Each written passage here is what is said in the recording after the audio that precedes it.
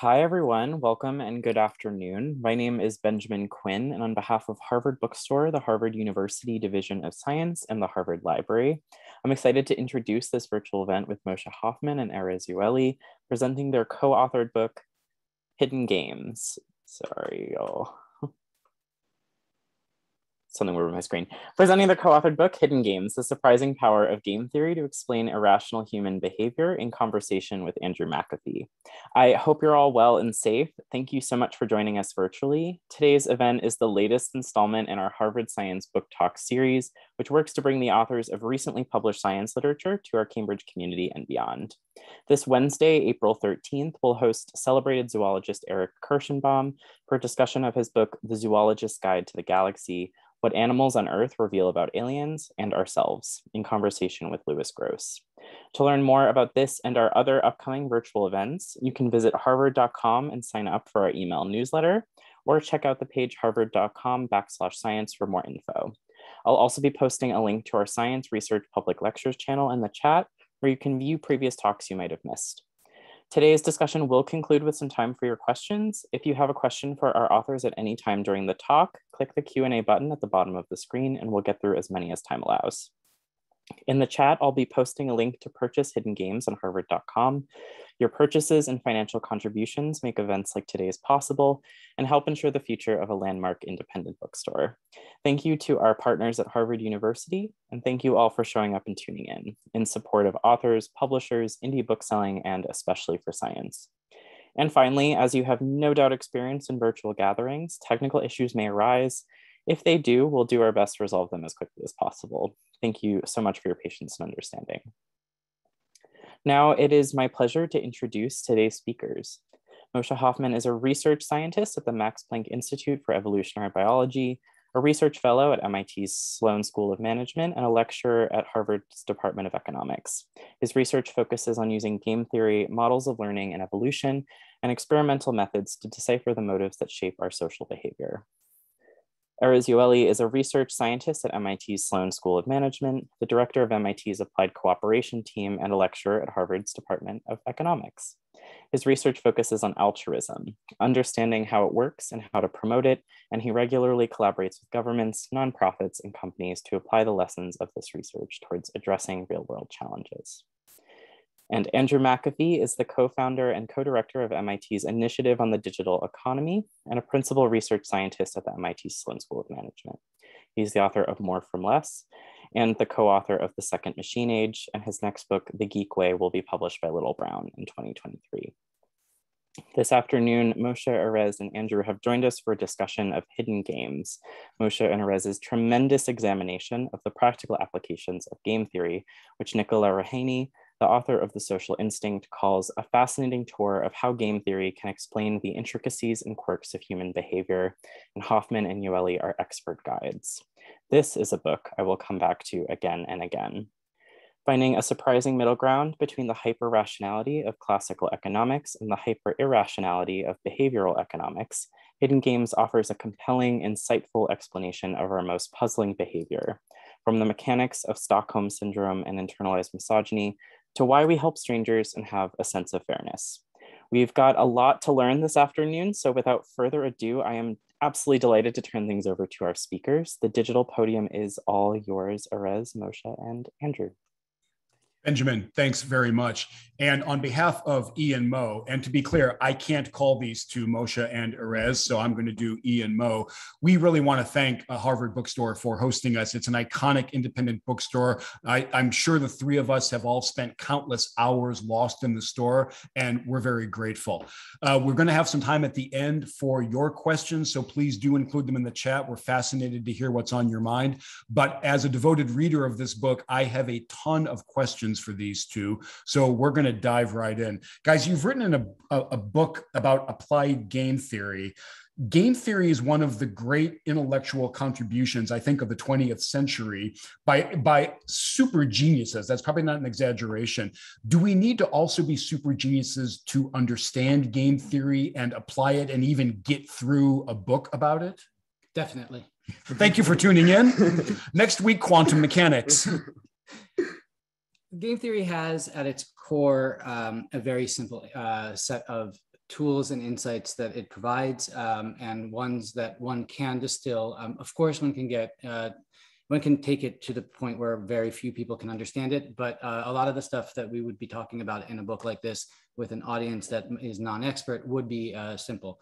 Game theory, I think, will is something that one can use to understand things that one encounters on an everyday basis and to really distill uh, a key feature of those kinds of interactions. Things like this is a situation that's positive sum, or things like this is a situation where um, this there's an element of coordination involved. What is the domain of game theory? Like, what what does it help us yeah. understand? Well, traditionally it helps us understand things like cold war dynamics or how much you should bid in an auction or even like a parlor game like like when you should bluff in poker um, that's the traditional set of applications and I, I, guess over the past 40 or so years, there have been other applications in biology to like why peacocks have long tails or, or why animals can be territorial territorial. So like these kind of evolutionary applications. The set of domains that we apply game theory to is a little bit different. We're thinking about things like quirky features of our pro-social preferences, like why we're altruistic or the weird ways we're altruistic, or, or spin and motivated reasoning, the way that we try to persuade each other and, and our own like fallacious beliefs.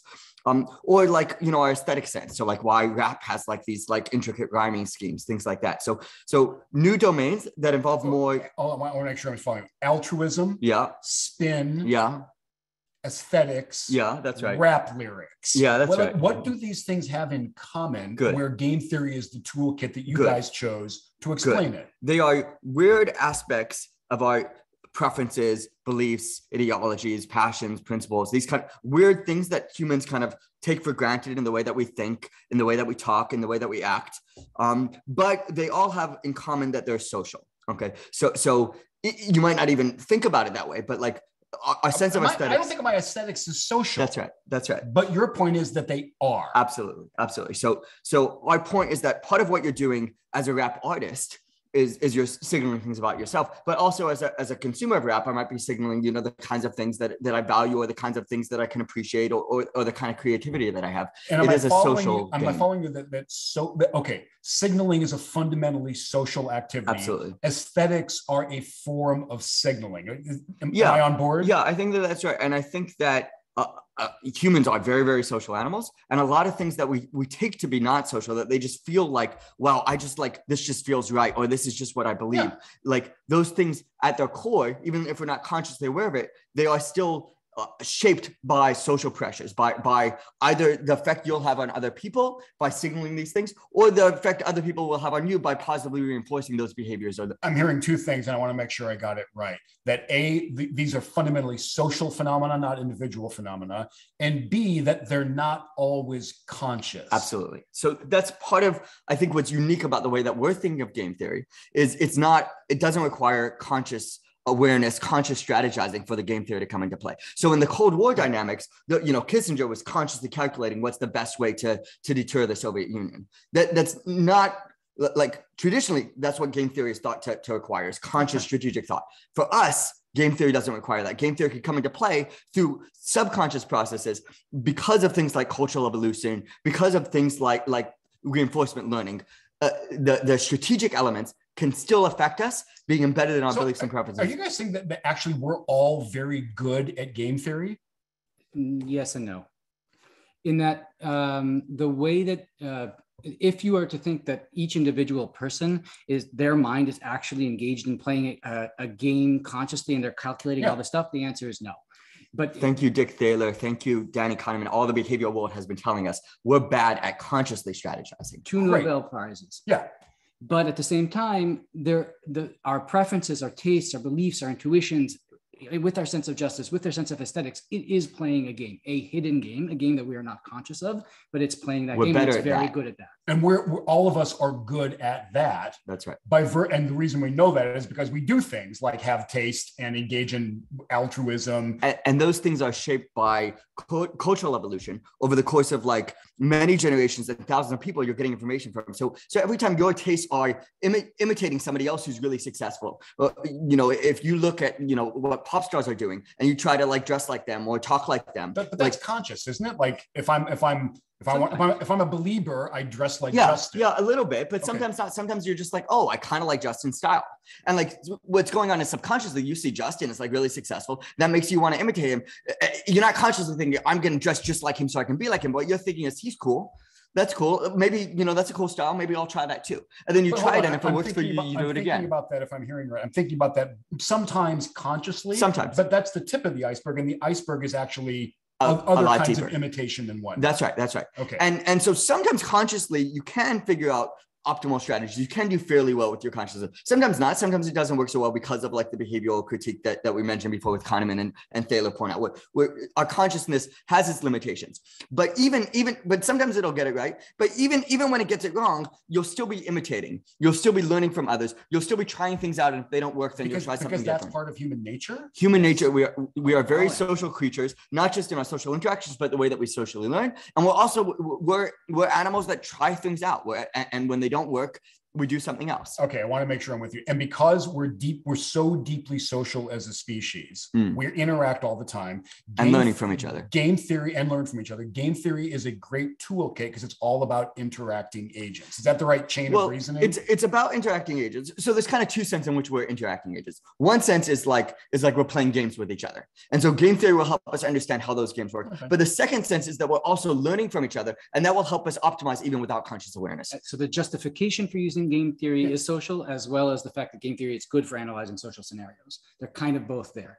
Okay. Two separate social elements. You guys i've heard you say the word evolution a couple of different times but you said it in kind of a weird context you talked about cultural evolution yeah that's right as i read your book one phrase that did not occur in the book as far as i can tell was evolutionary yeah, psychology yeah which is kind of a popular discipline are you guys not evolutionary psychologists Yeah.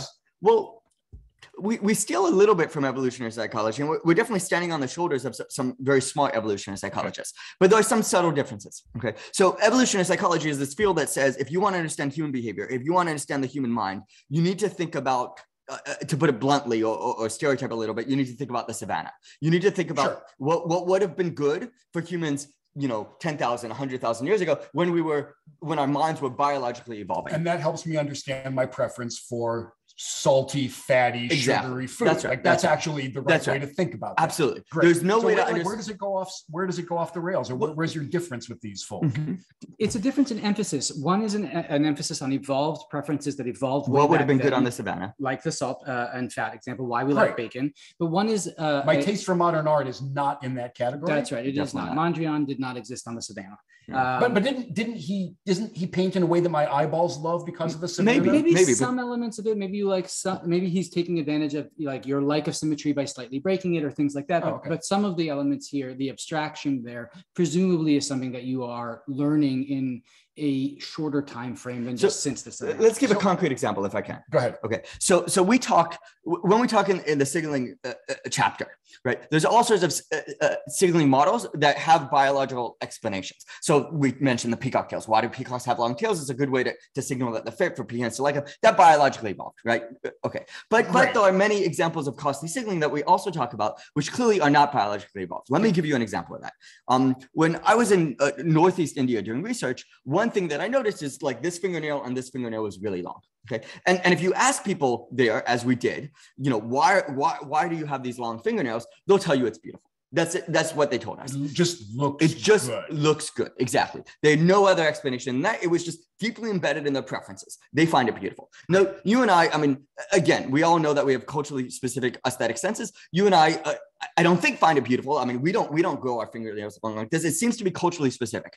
And you can ask Okay, so why there- in that culture That's so the savannah explanation does not work. it does not that. work there, or else we would have the same preference. Yeah. We don't. So that tells us there's something about the culture. And the story that we'll give is well, what they're doing is they, they couldn't tell us this. It's not conscious. Again, the game the game is hidden. But but The game is hidden. the game is hidden. That's right. But what is the game there? It seems as though all the people with these long fingernails are the people who aren't working the field, who they're not cultivating rice like the majority of the population that, that I was visiting. Instead, what they are is they're the few people who are the, the mayors, the school teachers, the secretaries. So they're signaling that I don't have to work the field. I can grow out these long nails. They're sending this costly signal.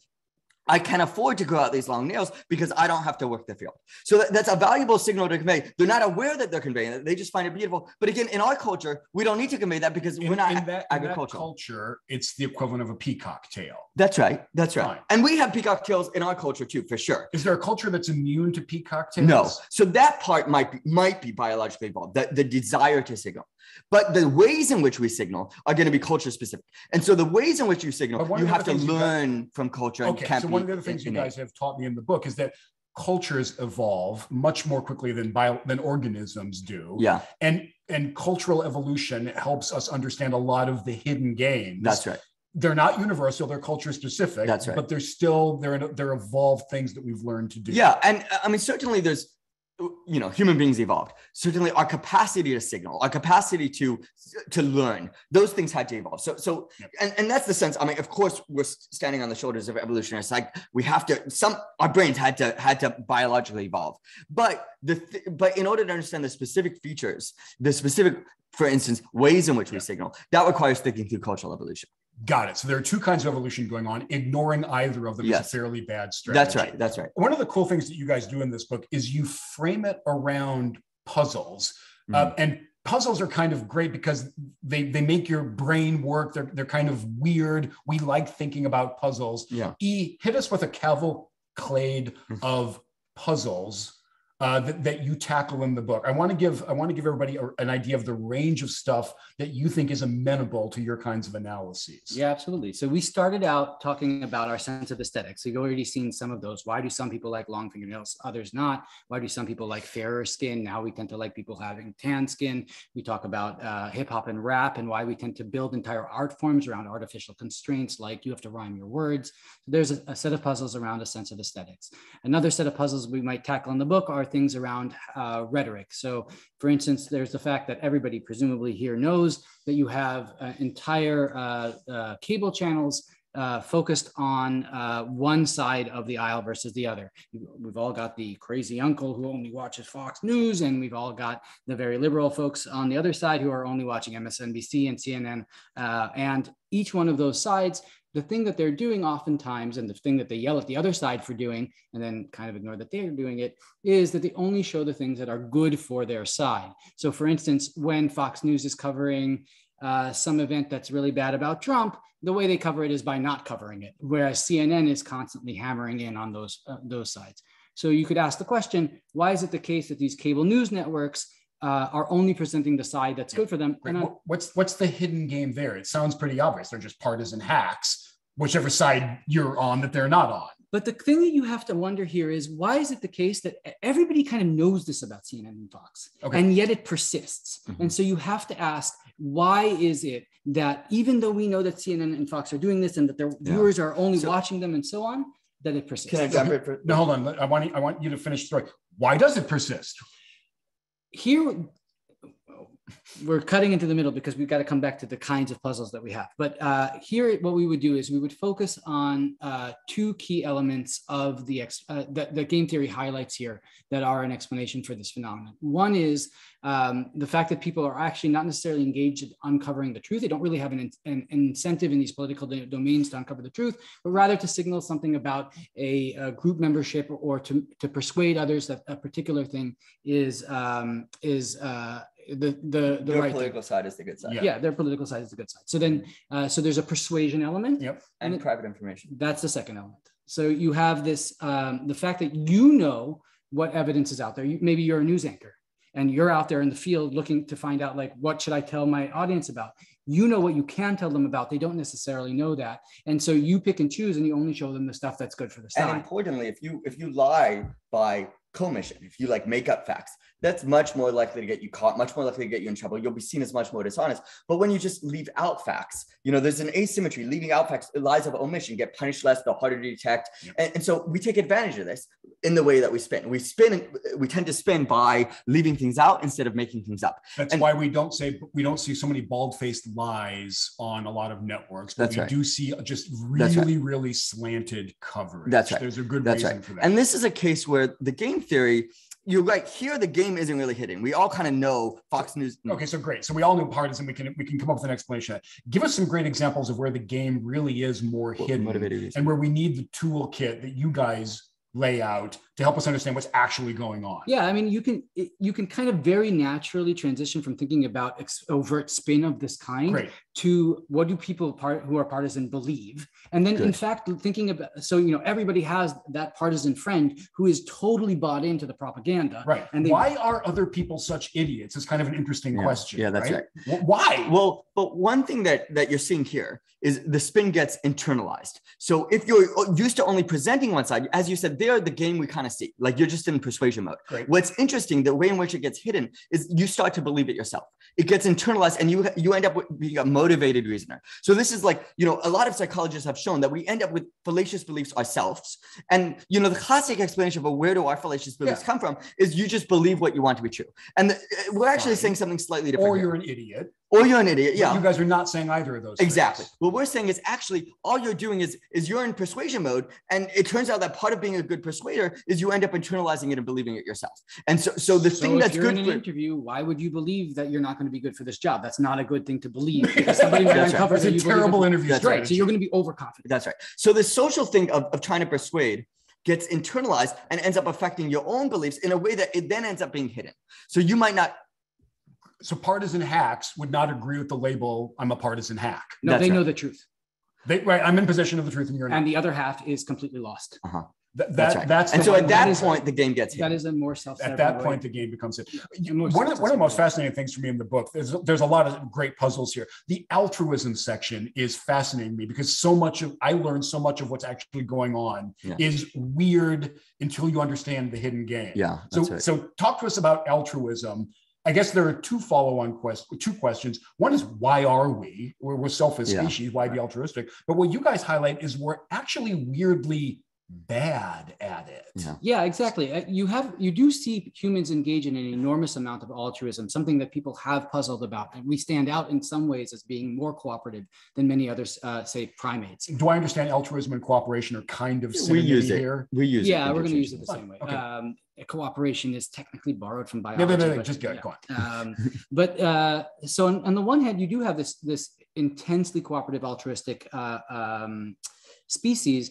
On the other hand, it's very Is, is it weird that we are altruistic from your viewpoint? Yeah. Yeah, I mean, this is this was if you asked Darwin what kept him up up at night, there were two things. One was the signaling stuff about peacock's tails. He and the didn't other thing understand the peacock's tail. Yeah, Yeah. he was like, how can that be consistent with with the worldview where where the it's survival of the I mean, fittest? I, I think we share the worldview with Richard Dawkins, which may, may, maybe of, uh, many of your viewers would share the, the idea of the selfish gene, which is like selfishness is easy to understand. Like evolution is inherently a selfish process. The thing that's the thing that's puzzling to scientists has always been why are we so non-selfish? Great. And and yeah, so so that's the starting point. Why do we give so much? And as Is there, can you, is there a like two sentence explanation for why we're actually very altruistic or cooperative as a One species? word sentence, reputation. Yeah, yeah. Oh. People people will trust you more. They'll, they'll, they'll give you more power over them. They're more likely to want to build a relationship with you Okay. if you're cooperative. Important caveat: remember the word hidden. There's no sense in which that's what you're thinking about when Oh, you're being altruistic. Oh no, you want to help you the just world. want to do the, the right thing. It feels We're, we're not a bunch of conniving people. Absolutely. Of course not. not. Okay, fine. Yeah, It's very genuinely held in Okay, that sense. So- game is hidden. Now I understand why we're a super cooperative species. Yeah. But tell me, but first of all, highlight how weird we are at our altruism and then unpack what's going Good, on there. good. Absolutely. Um, so every year when we start this part of our course, for instance, the, the thing that I do is it's a little mean, but I, I start by talking about Habitat for Humanity, which is this very well respected organization. Most of the folks in the audience would know it. And what they do is they build housing and community centers in places where they need more. Are you guys about to housing. dump on Habitat We for Humanity? Definitely about to dump on Habitat for Holy- Humanity. I'm okay, fine. Sorry to all the people who have volunteered for Habitat for Humanity and to all my former students who every year have to go through the spiel. Because at some point, uh, you know, I asked the students, can you raise your hand and, and tell us, you know, have you participated in Habitat for Humanity? And they proudly raise their hands. Wait, and year by year, do you have a student or two who has actually swung the hammer for Habitat? Absolutely. Okay. Every year there's somebody in the audience. And they're the hero in the class because they've done the right thing. Absolutely. Everybody's like kind of, you know, looking at them in a nice way, almost clapping, not quite. Um, and then at that point, I say, well, think about Habitat for Humanity. It is, it's a good org by, by our usual standards. But if you think about it for a second, it's kind of a weird organization because if your goal is to build as much housing as possible, The best way to do that might not be to fly a bunch of undergraduate students who have never held a hammer in their life from Cambridge, Massachusetts to Central America or South America or, East Asia in order to build houses. You could hire somebody there who builds houses for a lot less money. Literally, take the money that you use to fly that person, and you could hire people to build. Which would houses. probably buy many hours A of builder houses. labor in Central America right. and put people to work. And 100%. we, and everybody in Central America would be better off as a result. Mm-hmm. Yes and no. We'll come back to that Okay. point. But before we come back to that point, this is something that we can generalize a little bit. We can see in a variety of different ways that while people do good, the way in which they do good tends to be highly ineffective. Another way to see this is Okay, so it's not that it's worthless to do habitat. No. It's just weirdly ineffective. Yeah. that's right. If you're doing like a dollars per square foot built or something like That- that. Yeah. Exactly. And Okay. if your goal is what we claim it is, which is to help the world, this would be a, a weird way to do that. Especially after you guys are jerks and you highlight the dollars per square foot, That's right. then yeah. nobody should do this anymore. Yeah, that's right. and that's right. yet they still they still do. So That's so that that suggests something weird is going on with our, our sense of altruism. But you guys have found it's not just habitat, right? Altruism in general has this feature of being kind of ineffective. That's, That's right. So if you look at the the effective altruism community, they'll highlight this. Um, what happens is people tend to give to and and donate their time, like in this example, to charities that sometimes do exactly the same thing, but will do it in wildly d- different ways and therefore wildly less or more effective ways. Okay. The the same cha- charities that have the same exact goals can differ in effectiveness tenfold, hundredfold, thousandfold and still continue to exist for decades, which suggests people are giving to those charities that really aren't doing very much relative to the alternatives. Whereas in the business world that I'm more familiar with, if you are a thousand times less effective That's than the right. That's- competition, You will go out of you are pretty quickly going to go right. away. Yes, That's This is not how giving Yeah. works, even though we all agree giving is important. Exactly. Okay. And that So, suggests that th- so then what, what, what the hell is going on? Well, for starters, it suggests that there's something different about what's motivating our giving behavior Ah. than what's motivating our, say, investment behavior. Great. When you're investing in a stock, you want return.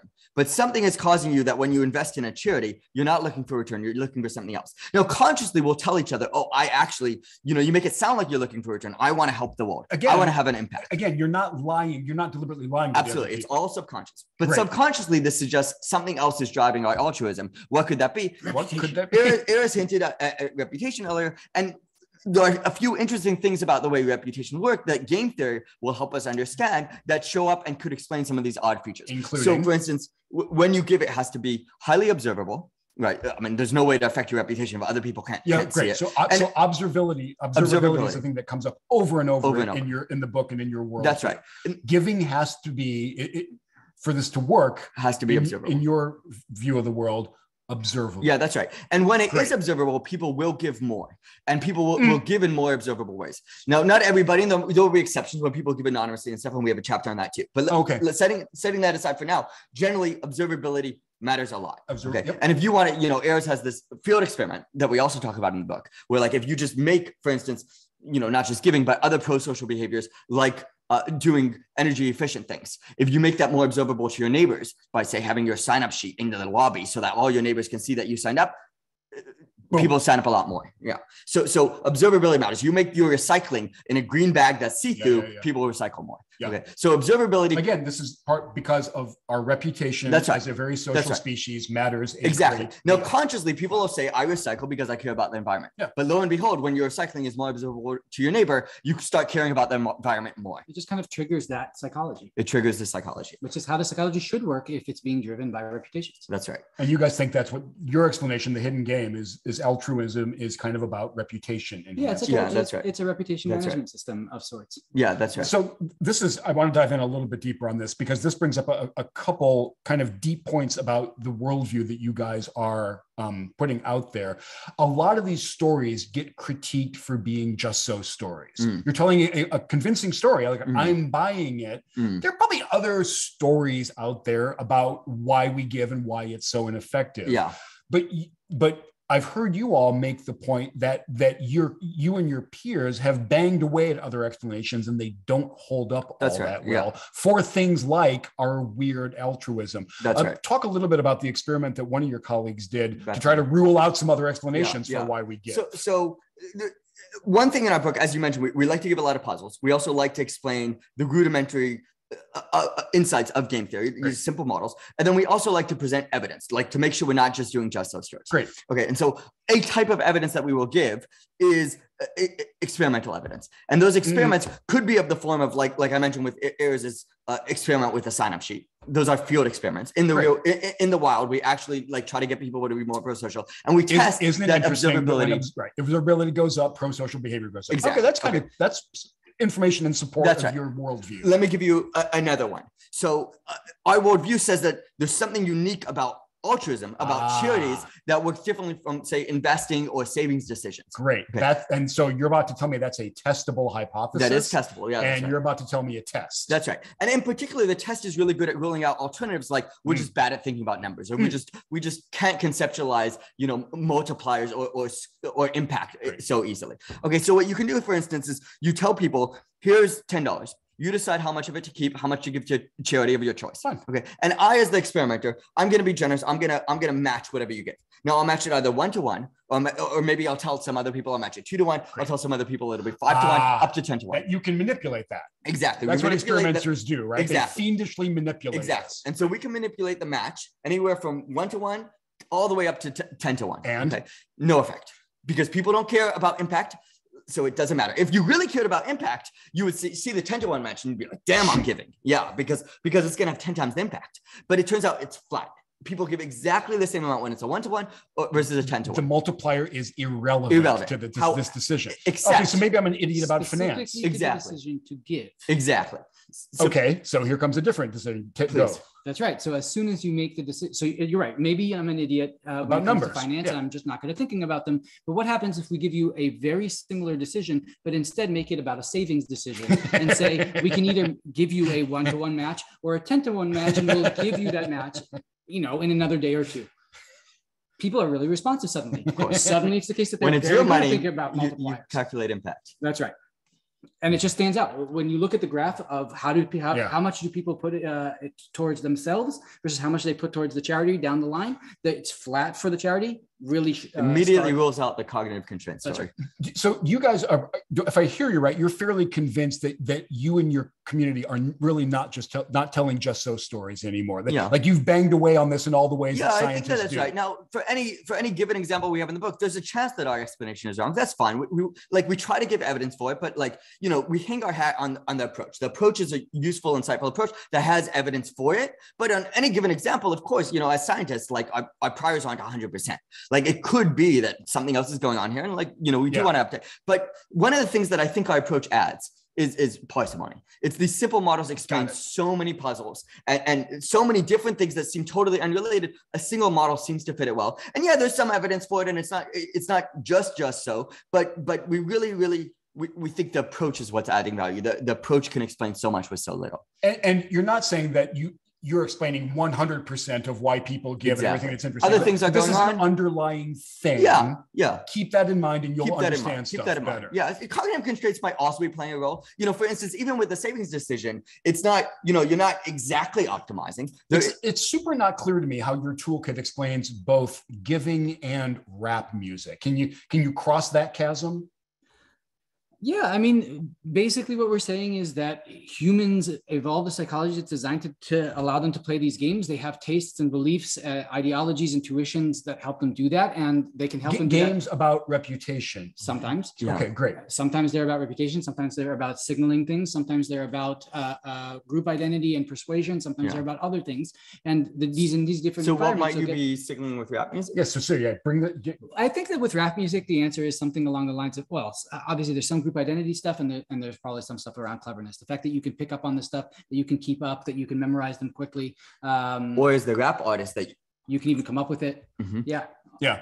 And if I'm hearing you right, the, there are, if I'm following some kinds of rap artists, that's signaling more that I'm a, like an, an insider, that I'm more deep into the Yeah, community. yeah, that's in, right. in exactly the same way that if I go to New York and I walk around MoMA instead of the Met, I'm signaling something about me. Yeah, yeah, What- something. what is something about your values? Something about your your training. You, you know, if if I've never been to an art museum before and I show up, I'm not going to understand 99 percent of what's going on there. And if I try to explain it to the buddy that I'm you, you know there with, I'm gonna you know sound ill informed. But if I if I had parents who brought me to museums growing up.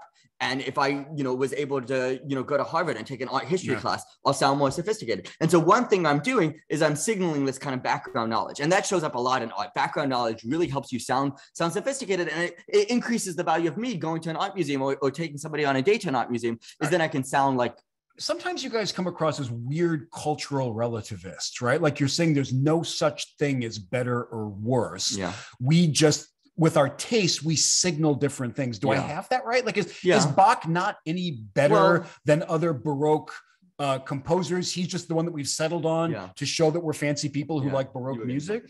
Uh, Bach may be better at well, first of all, Bach may be better at the things that make you um, make it a good signal, um, and also the aesthetic features. I mean, these kinds of things, the the thing that you signal Yes. Is going to, to some extent, uh, reflect the underlying function of that signal. So, for instance, if what you're trying to do is signal something about your background, then what you want is a signal that takes time to learn and that you need to learn with others.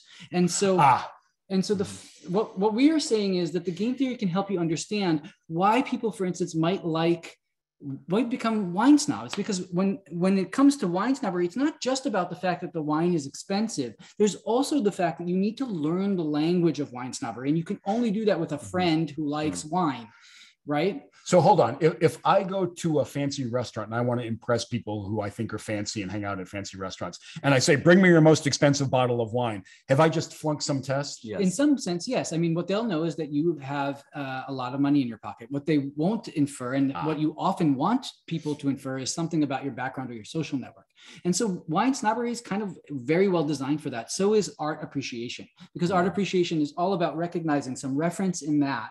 Well not all about it but one thing that happens is that it, there's some uh, thing that you're looking at and you're like oh that references this other piece that i also saw when i was back in this other place and i talked to this person about it and they told me about that and blah blah blah. So hold on. I, I, I want to go hang out and I want to get impressed. I want to get taken in by the fancy community who order, who order expensive wine in the right way or talk or, or Yeah. appreciate wine in the right way.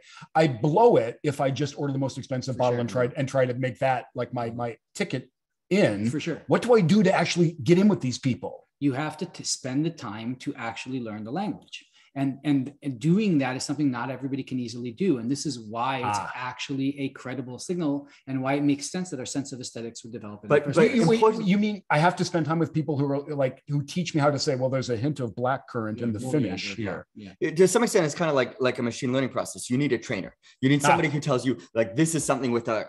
I, I'm not uh, sophisticated in this domain, but this is something where it has a that finish that you just described. Yeah. And you need somebody who knows it to teach you that connection. And then you do And that tells and you something about your social network. That tells you something about like you having spent time uh, uh, uh, uh, um, learning this skill Because you set. because you got to put in hours to get to the point. You got to put in hours, and you need to have the friends to train you. You got, you got to spend hours with the right people Exactly. to be able to talk about Exactly. the black currant And so- finish of whatever. and this All is this is a good I- I, example. can't then shortcut that with money, or I can't. exactly Fine. exactly so this is a good example where the the where we're doing something more than just saying this is costly signaling um a But when you say costly, you don't mean just dollars. well usually cents. it's interpreted that way so usually Fine. when people talk about costly signaling they think it's about signaling wealth and this is this is an example exactly Right, right. uh, this is an example where actually we can look at the way that what what's being signaled and try to kind of reverse engineer what information you're trying to convey. And that's that's a little bit more sophisticated than the standard costly signaling story. And and it's also slightly more sophisticated in that it's internalized. People just think wine you know wine snobs just think wine the wine is inherently better. And maybe in, in some ways it is inherently better but but it doesn't seem like it's it's well it seems like there's more going on than that like signaling that you had this training process And again, if I'm hearing you right, I'm not hanging out with my wine snob friends and learning about how to describe the the black currant finish with conscious strategy Exactly. in mind that I want to No, get invited to Davos right. someday. That's Like. Usually I, I'm enjoying this. I'm right. getting reinforced by the whole thing. That's right. And then maybe my ticket to, right. to Davos That's right. shows up. And uh, if I may, to get back to, to, to an earlier point about how, uh, like, we're not claiming that there isn't like better and worse wines by some dimensions. We're not claiming that there isn't like something to art or aesthetics that's real. What we are claiming is that, well, well there may be you know wine that like gets at certain taste buds better there may be art that is inherently better at communicating certain things or you know maybe maybe even like a better uh, like a more sophisticated writing experience so one, of art- thing, one, of the things you taught me was that rothko was a you know abstract art hero he actually worked like the Dickens. That's right. And, and, what he did is extraordinarily hard yeah. to reproduce. So it's not my four year old can do this there's, is not correct. There's some way, and there's some dimension, there's some metric at which it is uh, in an objective sense better but our point and we're not the first to say this is like that's that can't explain all of why we like it better or which people will like it better ah, let me that, give you one experiment if i can that kind of demonstrates this okay and that's that's this very nice study by, by paul bloom and a few few others at yale where they actually showed people you know different art pieces and I love this one. Yeah, exactly, exactly. Is, and they, you know, they this t- is fiendishly clever. Exactly, it is, it is. And, and they tell them, uh, um, you know, this is an original, or they tell some other subjects, actually, this is the original. That's the replica. So, so they randomize which one is claimed to be the replica and which one is claimed totally to be the random, original. right? Exactly. And so, so whatever objective dimension you're looking at the art piece of in terms of like its aesthetic appeal or in terms of its creativity or whatever like that's that's randomized whether or not you're told it's the Got original it. or not yep and the one that's the original you say it's you say it's better you say it's like prettier to look at you you you value it more you're willing to pay more to obtain it so that tells you there's more to it than these kind of objective criteria now that doesn't say the objective criteria mean nothing that's something also the audience may have experienced because if you if you think about your you decided to go to the Louvre and you wanted to see the Mona Lisa, in fact, the Mona Lisa is very hard to see at the Louvre, but you can open Wikipedia and you can get a variety of different high resolution images of the Mona Lisa, some of which have been corrected for the effects of time and so on. That's a better way to learn about the Mona Lisa. You can see a better image. And yet that's, most people wouldn't think of that as being really special, but going to the Mona Lisa is almost a, to see it physically is almost a spiritual experience. Wait, in E, wasn't there a follow on in the study that, that Mo just described where if you show people pictures of cars instead of yeah, art, right, exactly. it, yeah. it, doesn't matter yeah, which one, right. which was the original. Similar to the savings to to uh, to charity contrast that we mentioned before. That's a nice comparison treatment that really shows that like oh, there's something unique about our sense of aesthetics here. So for mechanical objects, so objects that actually have practical use, like they're actually like you don't care whether it's a replica or right. Is this Celica better than that Celica? Well, exactly. Who, who the hell like cares? you just want to know that it works, and that tells you look but you actually only see their effect about whether it's called the, the replica or the original and how much you like it, how much you're willing to pay for it, how much you value it. You only see that effect when we're judging things on their aesthetic appeal. That tells you there's something unique about how aesthetics work that has something to do with signaling or something like that. All right, before we throw it up into questions, I, I want to ask one final question. This toolkit has helped me a great deal to understand what's really going on in the world, to understand the hidden games that are happening all day, every day, all around us. Um, can you actually use this toolkit to change the real world, to, to, to make things happen that you want to? You were part of a study in Kenya that strikes me as pretty good evidence that we can use these ideas to make things better. Talk about it. Yeah. Um, so the, the study in, in, Kenya involved a population that was suffering from tuberculosis, which uh, unfortunately, and at least until COVID, was the world's number one killer amongst infectious diseases in the world.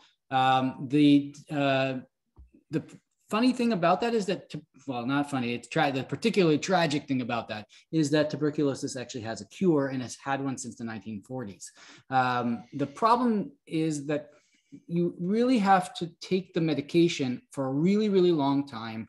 The medication itself is going to make you feel sick. You have to go back to the clinic all the time in order and to after your symptoms go away. Exactly. You have to take unpleasant medication for a long time to truly nuke the bacteria. That's right. And, okay. And you're doing that in a place where there's a stigma against tuberculosis. Um, and uh, often there's terrible transportation networks. You're taking half day off of work every time. So people give up. And they hope- my, my symptoms have gone. I'm not going through this hassle anymore. That's right. We're, we're good.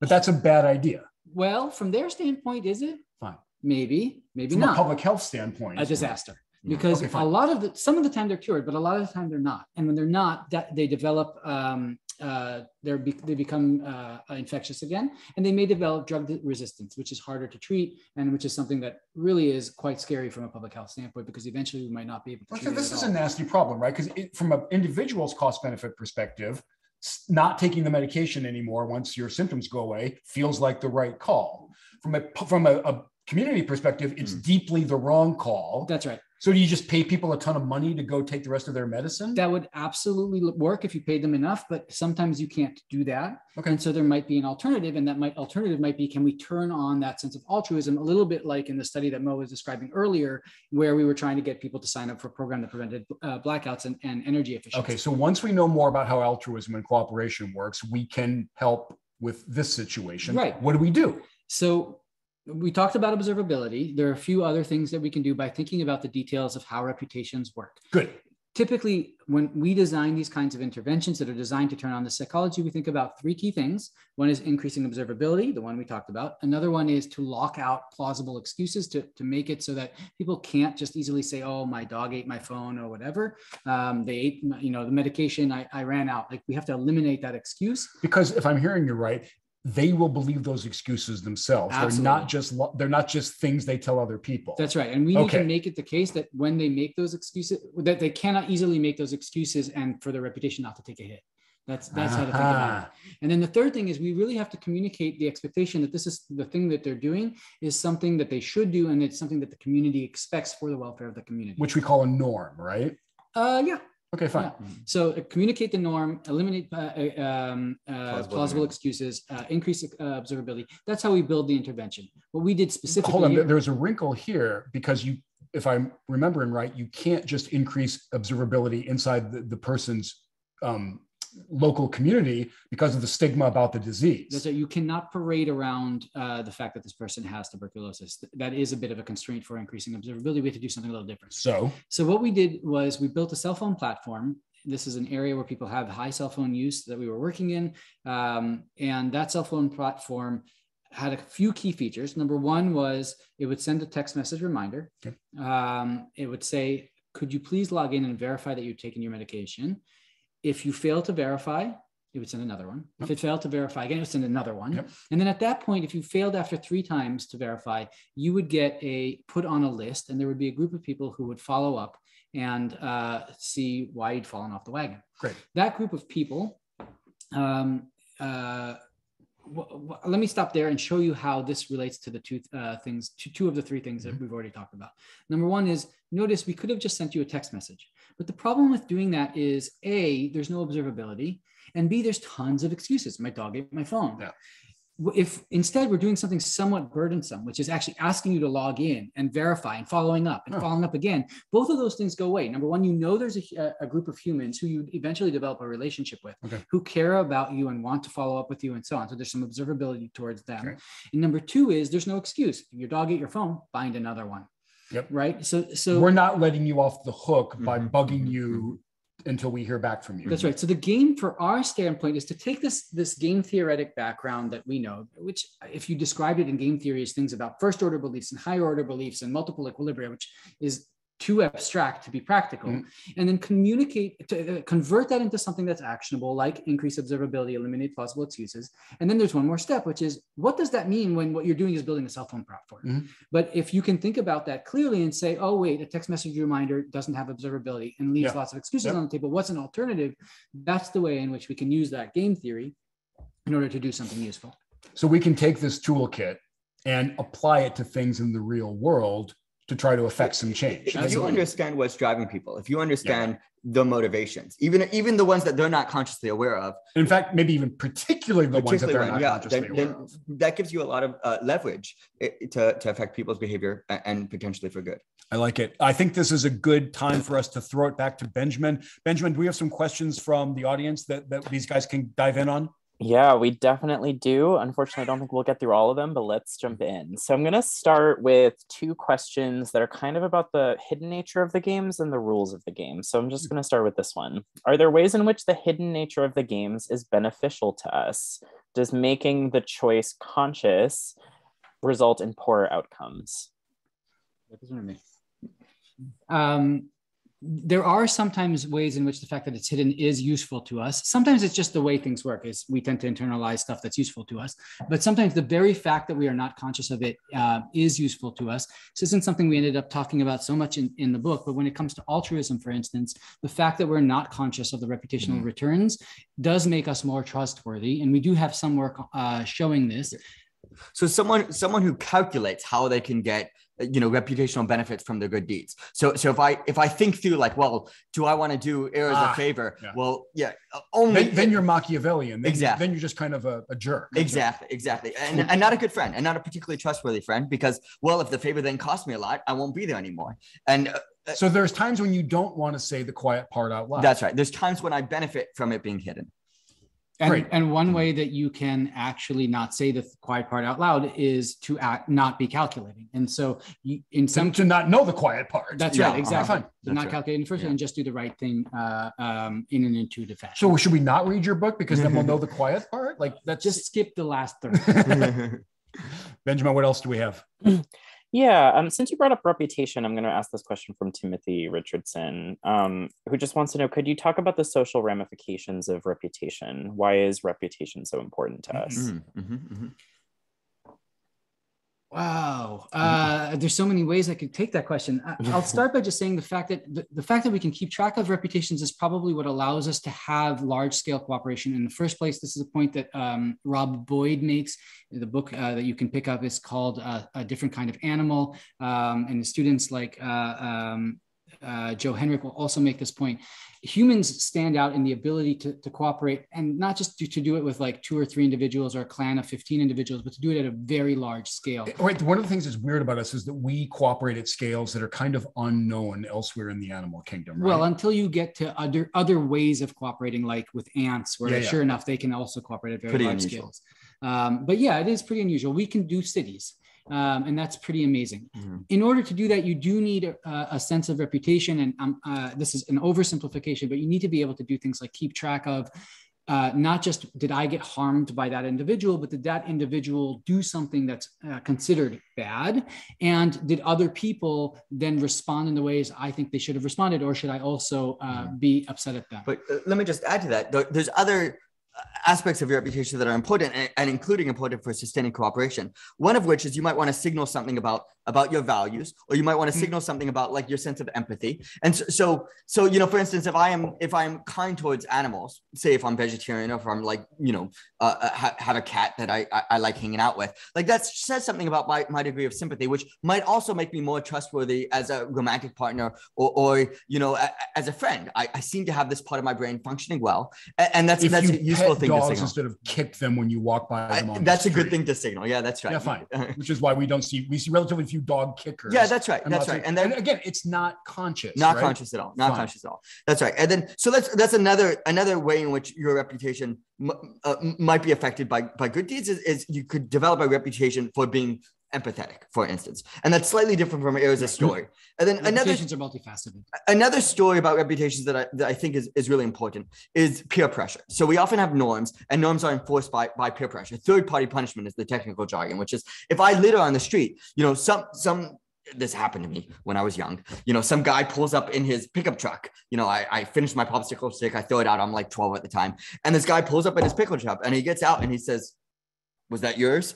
And that was the last time i littered. And so so that's you know i i learned very quickly uh, uh, you know for, i've now internalized this and now Yeah, now i think it's really bad to litter. You But, don't like, litter when nobody's watching. exactly. I wouldn't i wouldn't do that litter when nobody's wa- watching even because i've internalized this but like part of that internalization came from this social pressure and that social pressure is also really important for sustaining cooperation is is we we enforce norms we peer pressure each other to do things. And one of the things you guys have taught me is that um, if you continue to be a litterer, E will not hang out with you, even if you don't, even if you're not a litterer. that's right Like having littering friends is not cool for you. yeah that's right That's right, and and in fact, it's even uh, stronger than that. If I did hang out with Mo uh, when everybody knew that Mo was a litterer, people would stop hanging out with me, even if I don't litter, which is known as higher order punishment.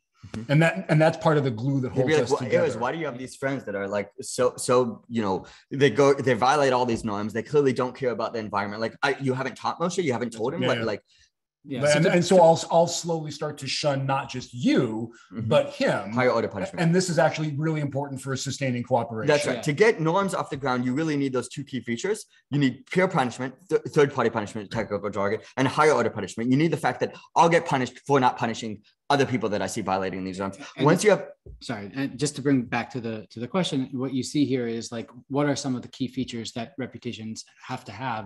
And these would be two of them it struck me after reading your book there are very few things more important to us than reputation right we want clothing if we're out in the cold we need food Yeah. but for a social species like us reputation is just paramount Oh yeah, right? yeah. If your reputation, I mean, as you see, I don't know, take take the, the people who have been taken down by say the, the Me Too movement, right? These are people with a ton of wealth, uh, Mm-hmm. but like that doesn't save them, and like their lives are tremendously worse once they've been been called out by this movement for, for their past misdeeds. Like they once you lose whether the or status, not, whether you or lose, not we care whether or not we're sympathetic to them keep in mind that their lives are deeply deeply worse as a result of getting me too third party punishment hurts, Uh, Hurts. and and it, it hurts especially for a species. But we rely on our social network, we rely on our reputations to, to to have any any amount of power, to have any amount of status. That stuff matters to us. The Okay. worst thing that could happen to a Roman senator would, would be that he would be sent off and couldn't come back to Rome.